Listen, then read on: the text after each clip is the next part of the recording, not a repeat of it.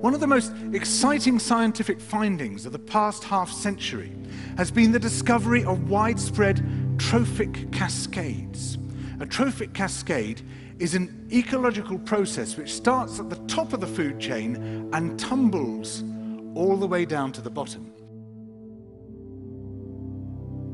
We all know that whales eat fish and krill, and some people, certain politicians in Japan for instance, have argued that killing whales is good for human beings, as it boosts the food available for us to eat. And so you would think. But as the great whales declined, so did the numbers of fish and krill. It, it seems counterintuitive. Surely their numbers would rise as their major predators disappeared. But it now turns out that whales not only eat these animals, they also keep them alive. In fact, they help to sustain the entire living system of the ocean. Whales feed at depth in waters that are often pitch dark, and then they return to the surface to the photic zone, where there's enough light for photosynthesis to happen. There they release what biologists call fecal plumes, vast outpourings of poo, poonamis. These plumes are rich in iron and nitrogen, nutrients which are often very scarce in the surface waters. And these nutrients fertilize the plant plankton that lives in the only place where plants can survive, the photic zone. Fertilizing the surface waters isn't the only thing the whales do. By plunging up and down through the water column, they also keep kicking the plankton back up into the photic zone, giving it more time to reproduce before it sinks into the abyss.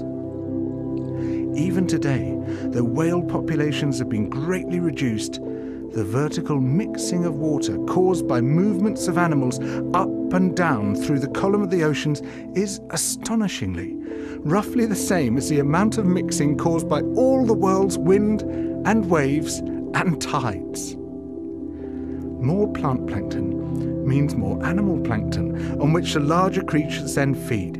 In other words, more whales means more fish and krill.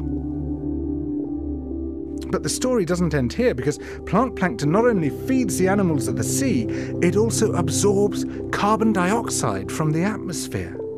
When eventually it sinks to the ocean floor, it takes this carbon out of circulation down to a place where it remains for thousands of years. The more whales there are, the more plankton there is. The more plankton there is, the more carbon is drawn out of the air. When whales were at their historical populations, before great numbers of them were killed, it seems that they might have been responsible for removing tens of millions of tons of carbon from the atmosphere every year. Whales change the climate. The return of the great whales, if they're allowed to recover, could be seen as a benign form of geoengineering. It could undo some of the damage we've done both to the living systems of the sea and to the atmosphere.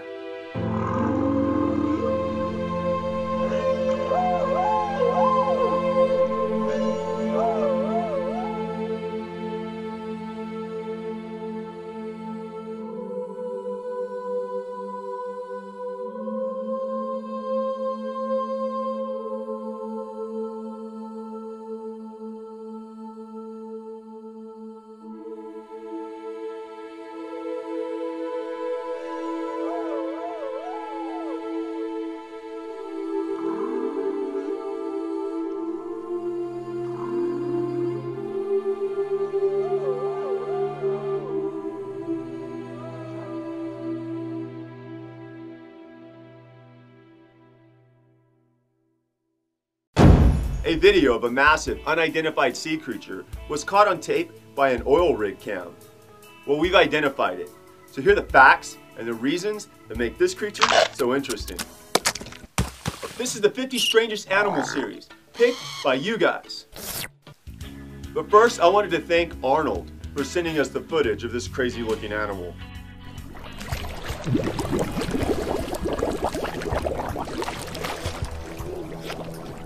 Last year, the internet was abuzz when video recorded 5,200 feet below the surface of the ocean showed a strange, bag-like creature that seemed to investigate the man-made objects that infiltrated its territory.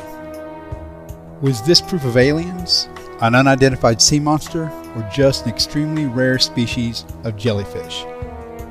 It was soon discovered to be Deepstaria reticulum. One of the things that gave away the identity of this mysterious creature were the testicles shown at the bottom of the creature in the video. The Deepstaria reticulum belongs to the jellyfish family Ulmaridae. This was the second Deepstaria species to be described. The first was the Deepstaria enigmatica, named after submersible Deep Star 400 when it was first observed intact during dive number 159 on October 22, 1966 by Dr. Eric G. Barham, Dr. George Pickwell, and Mr. Ronald Church. You'll often find these mysterious creatures in the meso and bathypelagic environment.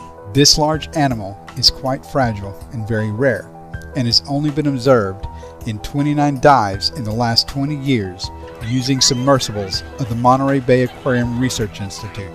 One of its closest relatives, determined through DNA studies, is the commonly seen medusae, the moon jelly Aurelia aurita. It was described again in 1988 by Larson, Madden, and Harbison, noting the two species display some unique behaviors in movement and pursing of the bell margin that are unknown in other medusae. They speculate that their feeding behavior of these medusae would be to hang vertically and motionless, leaving the large bell open for upward swimming prey to swim in accidentally. Upon contact, the umbrella would shut, trapping the prey whose attempts at escape would only cause it repeated stings until it weakened. Bagging prey in this way is not known in other medusae.